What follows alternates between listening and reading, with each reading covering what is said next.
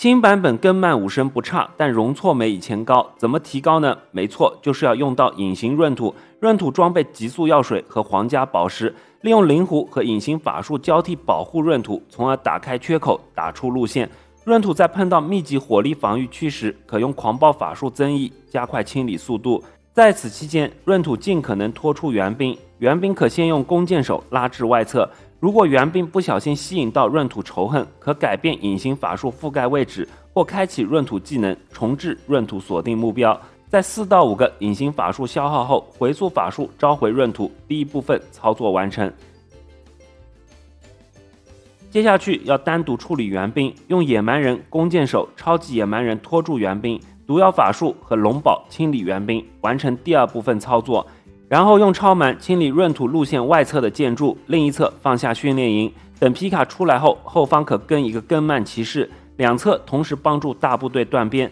接着蛮王扛住伤害进格子，超蛮帮助蛮王断边。蛮王装备手套和足球，在此打法中容错略高于狂暴和手套。最后就是放下大部队，如果碰到火力密集区域，需要马上给狂暴法术加速清理的同时，也可以让德鲁伊的治疗效果提升。紧接着，大部队后方回溯法术召唤闰土，女王装备冰剑和天使，永王装备金身和治疗。切记，金身一定要压住。蛮王提前开技能，清理格子内建筑，尽可能让大部队不偏离路线。大本营激活后，冰冻控制。再次提醒，一定要压住金身。爆本瞬间，女王开启技能，马上跟上金身。金身一定要无敌到天使，以及抵消大本营的爆炸伤害。整体的流程就是这样，稍微有难度一些的操作在于隐形闰土部分，大家可在友谊战中多多练习。战宠方面，蛮王和闰土没什么好说的。女王因为装备了天使木偶，本身有少量回复，不需要独角辅助了，可携带更适合的冰牙。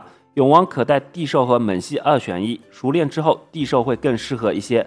这个玩法中并没有配置新版本中削弱的慢生法术，因为覆盖直径减少了两格，影响非常巨大。很多针对性的阵型可以把慢生法术的收益降低非常多，所以不选择使用。